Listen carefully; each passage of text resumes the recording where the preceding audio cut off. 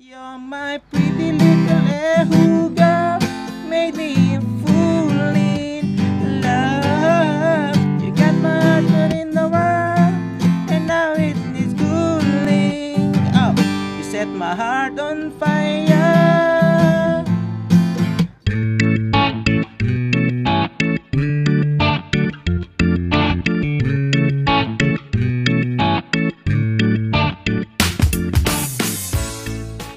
Guys, so welcome sa ating bagong video tutorial. Ang tuturo natin sa inyo ngayon ay yung buong kanta ng Eho Girl ni Kolohekay. Okay? So kung hindi nyo pa napapanood yung intro tutorial natin guys, pwede nyo puntahan dyan sa ating pin comment sa baba. Nandyan yung link para matutunan nyo din yung intro. Okay? So dito tayo ngayon sa ah, buong kanta simula sa verse hanggang sa bridge. So tuturo natin sa inyo. Okay? So sa verse ay Ah, so sa video pala na to guys, ituturo ko rin sa inyo kung paano nyo magagawang reggae yung isang kanta. So matututo na rin kayo kung paano mag-reggae, okay? So bagong skill para sa inyo. Okay? So dito tayo ngayon sa verse, so Said it happened last night About a 10 to 11 When I first day out on you Okay? So ganun siya, no? First laid eyes on you. So ganun siya. Okay. So paano yon? Sa verse, ang mga chords natin ay C. Said it happened last C. Tapos C uli. Na C. Tapos C uli. So dinoble natin yung C guys para malaman nyo yung bagsakan mamaya ng strumming. Okay? Pagkatapos nun ay F. F na shortcut. Pwede rin yung bar chords. Depende sa inyo. So F. Tapos G. G na apat ng daliri, okay? so, two times nyo lang gagawin yung apat na yan, okay? So, yan. Yan lang yung mga chords ng verse. So, yung strumming pattern natin, guys, para sa buong kanta, ay ganito, okay? Sa buong kanta na to, guys, ha? So, halimbawa sa C, ay down, down, up, up, down, up. Okay? So, ganyan. Down, down, up, up, down, up. Okay? So, ganyan siya, no? down, down, up, up, down, up. Okay? So, sa sige niyan. Down, down, up, up, down, up. Okay? So, ganun siya. Sa buong kanta na yan, guys, ha? So, halimbawa sa C. Set it up is last, down, down, up, up, down, up. Tapos, si uli, down, down, up, up, down, up. Okay? So, ganun siya. Yun. So kung gusto niyo naman na medyo tricky siya, kung makuha niyo talaga yung original guys, pwede yung ganitong strumming pattern. Pero baka mahirapan yung mga beginner natin. Pero subukan niyo lang practicein, okay? Alam kong kaya niyo rin yan. So pwede, dadagdagan niyo lang ng tap, okay? So pwede yung ganitong strumming, magiging reggae na yung kanta. So ganito. Down, down, up, tap, up, down, up. Okay, so ganito. Okay, so ganun siya. Paano yon? So, down, down, ah, sorry. Down, down, up, tap. And then, up, down, up. So, parang yung strumming pattern lang din kanina, pero nilagyan nyo ng tap. Okay? So, ganun siya. So, halimbawa, ganito. Okay? So, ganun siya. Kapag ginawa niya sa isang kanta, guys, magiging reggae na isang kanta. So, ganyan yung basic na strum ng reggae. Okay? So, kapag natutunan niyo yan, matututunan niyo na rin kung paano mag-reggae. So, ganito. Tapos, lipat. Okay? So, ganun siya, di ba? So, ganun lang. Practicein nyo na practicein, guys, para matutunan niyo yung strumming. So, pili na lang kayo sa dalawa, guys, kung anong gusto niyo doon. Pero, mas maganda matutunan niyo yung merong tap para masanay kayo ng reggae. Okay? So, ganun lang siya, no? So, kanta na kagad natin yung verse para matutunan nyo siya kagad. So, dito yung isa. Uh, Said it happened last night About a 10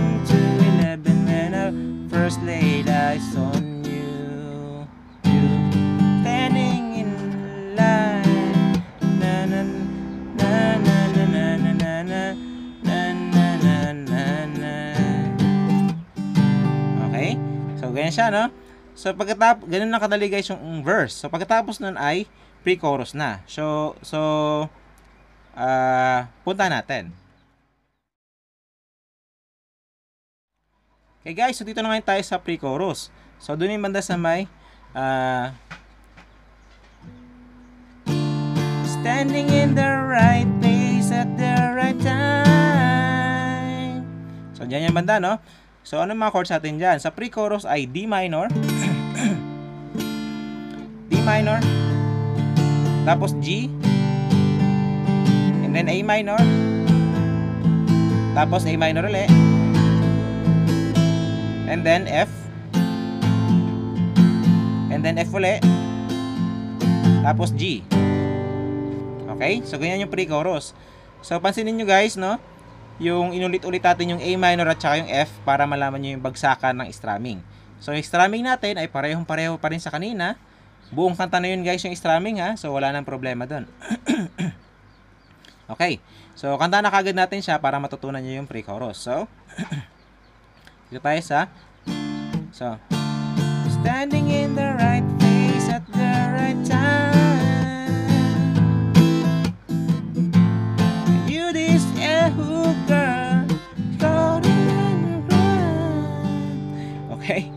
ano siya, no? Hindi ko kaya yung boses. Tapos, chorus na yon okay? so, ganun lang kadali guys yung pre-chorus. So, punta naman natin kung paano yung chorus at saka yung bridge. So, dito na ngayon tayo guys sa chorus. So, doon na yung banda You're my pretty little ehu love So, full in love pala. Sorry. So, dyan yung banda, no? So, paano yung mga chords natin sa chorus? So, mga chords lang natin sa chorus guys ay C, tapos F, tapos G, tapos G uli. Okay? So, four times siya lang gagawin yan para sa buong chorus. Okay, so ganun lang siya kadali, di ba? Tapos, yung strumming pattern natin, ganun pa rin. Okay. So, wala na tayong problema. Alam na natin yung chords ng chorus, kantahan na kagad natin siya para matutunan nyo. Okay? So, ganito. So,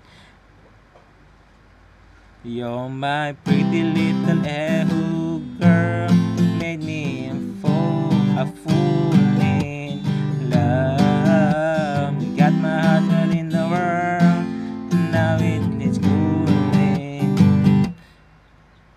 You set my heart on fire Now I don't know what to do my heart on fire Now I'm so in love with you My eho girl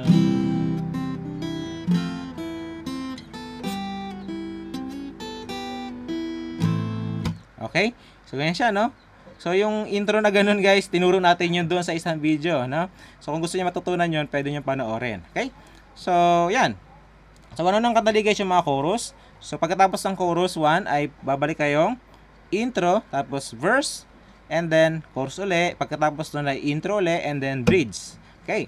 So, paano naman kaya yung bridge? So, dito yung banda sa may, uh, Ehu girl flows in the air, she reflects the sky, da da da.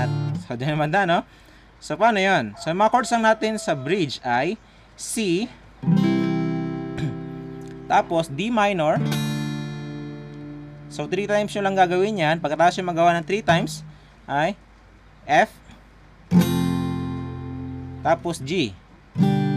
Okay. So, ganun lang kadali guys yung bridge. So, kanta na kagad natin siya. So, ganito. Ah, Lost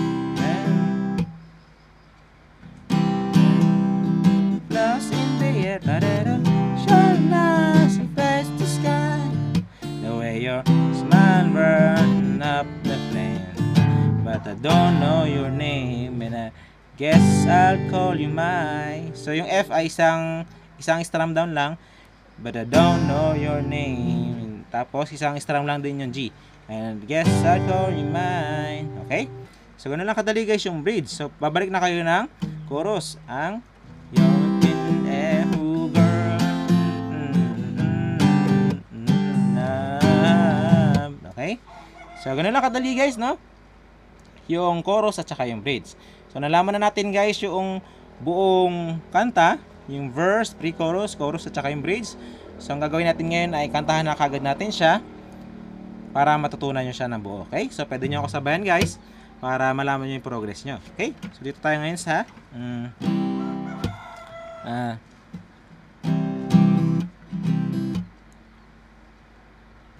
sa verse, okay? So, dito tayo ngayon sa verse.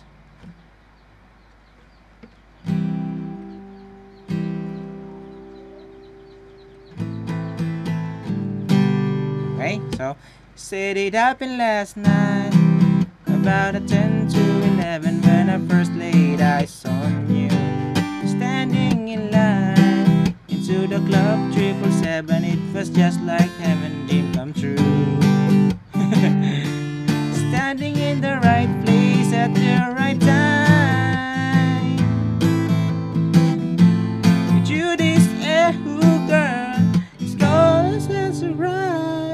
cause the cry Yo, tapos chorus You're my pretty little ehu girl Made me fool in love. You got my heart in the world And now it is cooling. Oh, you set my heart on fire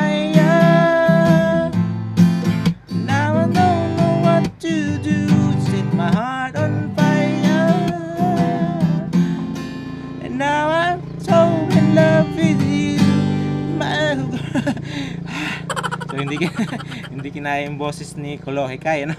So ngayon, so pinilit ko kantahin guys para sa inyo, no? So para malaman niyo din. So pagkatapos nun, balik kayo yung chorus and then verse ulit, tapos chorus and then bridge. So tapos na yung kanta. Tapos babalik ng chorus, tapos tapos na, okay? So ganun lang kadali guys yung buong kanta ng kantang Eho Girl. So kung hindi nyo pa napapanood guys yung intro, so pwede nyo puntahan doon sa isang video natin para matutunan nyo din siya, okay? So enjoy sa bago nyo matutugtog guys. Kita tayo sa next video natin. Bye!